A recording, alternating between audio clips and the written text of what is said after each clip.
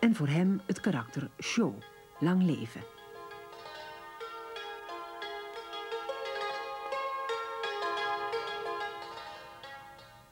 Van zilver is deze wijnkan. Eveneens van zilver is deze verwarmbare soepterrien. En ingelegd in goud ook hier het symbool show.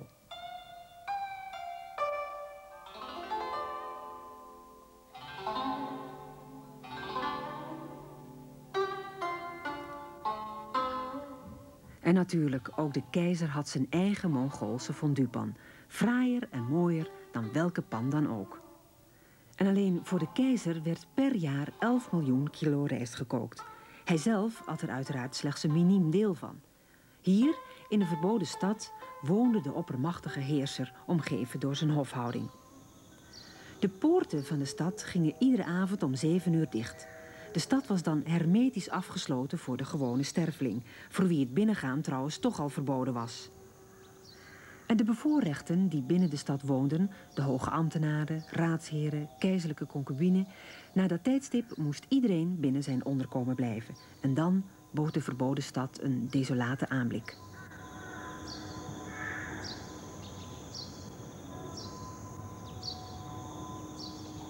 Hoewel achter de muren in de sierlijke paviljoens moet het tijdens de nachtelijke tijdstippen vaak hebben gegonst van de intriges en complotten rond de machtige en minder machtige Chinese alleenheersers.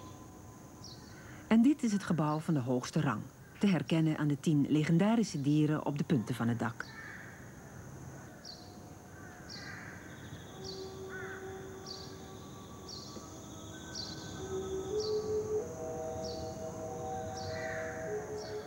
Dit is de westpoort van de Jadetuin. Een naam even poëtisch als veel namen van Chinese gerechten. Het rijk van de machtige keizer, heerser van het centrum van de aarde, zou volgens de logica als een eiland moeten zijn, omgeven door vier zeeën. Maar ten noorden van China lag geen zee, maar het rijk van de eeuwenoude erfvijand, de Mongolen. Dus even ten noorden van de verboden stad werd een meer gegraven, Beihai, ofwel Noordzee, nu bekend door het fraaie Behaai-park.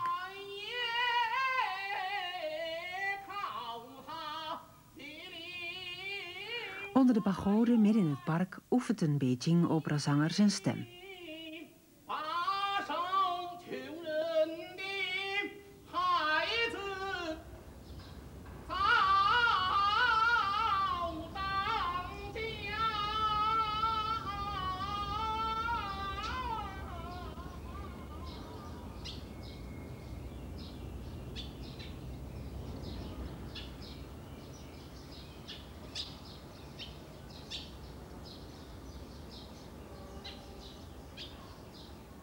Verderop zijn ouderen bezig met hun tai chi oefeningen.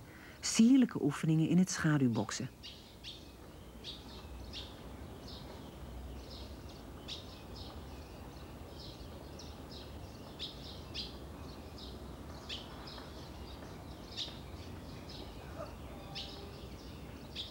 En terwijl de ouderen er rustig de tijd voor nemen, is de rest van de bevolking aan het werk.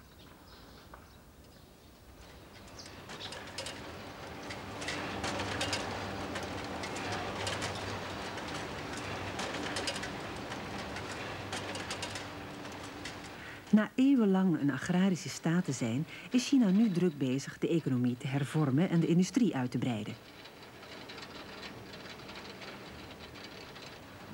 Werken in de industrie verandert het leefpatroon van de Chinezen. Maar de Chinese cultuur zelf verandert nauwelijks.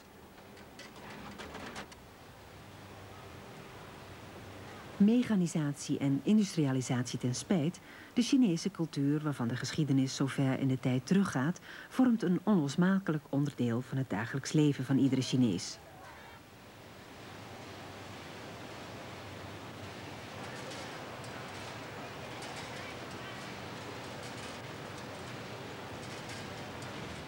En dus zal geen bedrijf de inwendige mens vergeten. In iedere school, kantoor of fabriek wordt voor eten gezorgd.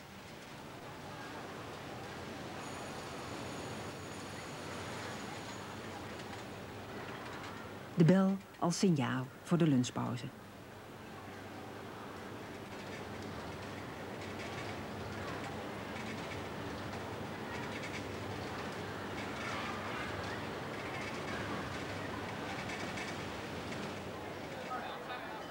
Er is keuze uit tientallen gerechten, maar de basis van iedere maaltijd hier is natuurlijk de rijst, ooit aan China geschonken door de vijf goden.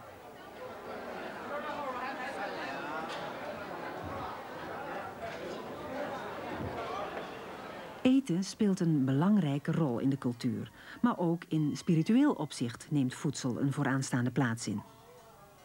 Zo kennen de boeddhisten het jaarlijkste festival van de hongerige geesten. Die moeten jaarlijks gunstig worden gestemd met offers, waaronder veel eten en drinken. Maar ook kent de Chinese keuken het gerecht Boeddha springt over de muur. Volgens het verhaal ontstaan toen Boeddha eens achter een muur vandaan zulke lekkere geuren opsnoof dat hij er in één keer overheen sprong. Recht voor een verbaasde Chinees die wat restjes aan het koken was. En zo kent de Chinese cultuur tal van legenden die allemaal in verband staan met rijst, door de goden aan de Chinezen geschonken.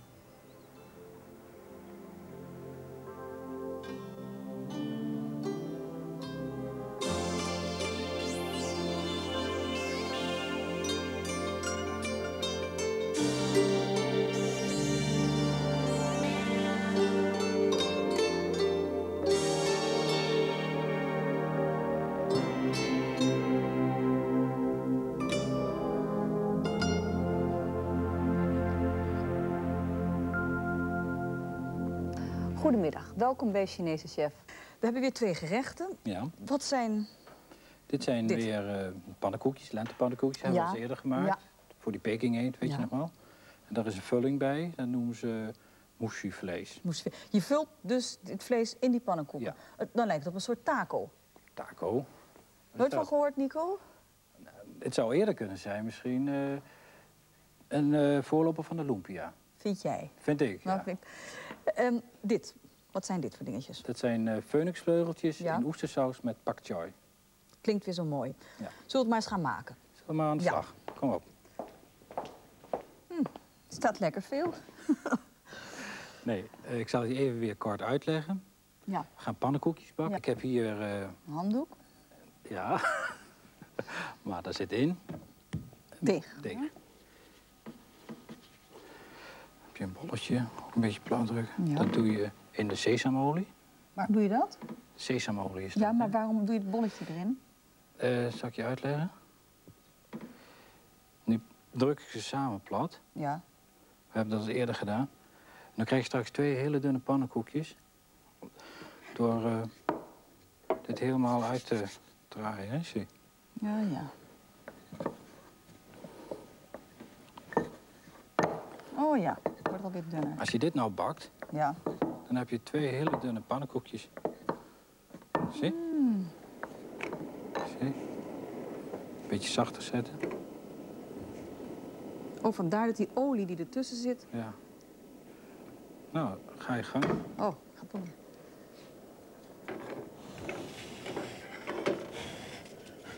Nou ja, twee beeldige pannenkoeken. Ah, je leert al aardig, hè?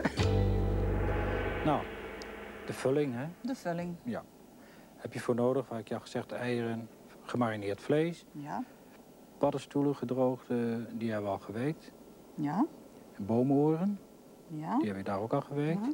Wat is dit? Dit is, Dat ken ik eh, niet. er wordt in de Chinese keukengroep tijgerlelieknoppen, gouden naalden. Ja. Als kind noemen wij ze al de Chinese bloemen. Het is Dit, dit is een, een stamper van een bloem. ja, een lelieknop.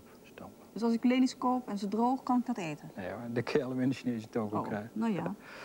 Goed, Zullen we maar eens aan de slag? heel goed. Ja, Ja? We gaan bamboe snijden. In dunne reepjes. Dat kan jij wel even doen. dat doe ik. Eitjes moeten ook nog gekletst, hè? Ja, dat kun je zo meteen wel Oh doen. ja, maar als ik even mag. Er komen vaak brieven van mensen binnen die een wok hebben gekocht. Ja. En eigenlijk niet weten hoe ze hem moeten gebruiken. Hoe, kan jij een tip geven voor het inbranden? Ja, ik heb je al een keer verteld. Hè? Ja. Nieuw wok zet je op het vuur. Ja? Goed heet. Nou, zeg maar een kwartiertje. In laten branden. En dan afspoelen met koud water. En even met een schuurmiddel even schoonmaken en dan in olie. En, dan En je doet er niks in. Voor... Nee, gewoon op vuur zetten. En nou heb je hem heel lang gebruikt. En hij is vies. Wat doe je dan? Idem dito. Weer hetzelfde. Dus inbranden. Ja? En dan eh, onder koud water afspoelen. En dan met een schuurmiddeltje. En dan Prima. een beetje olie Weten we dat ook.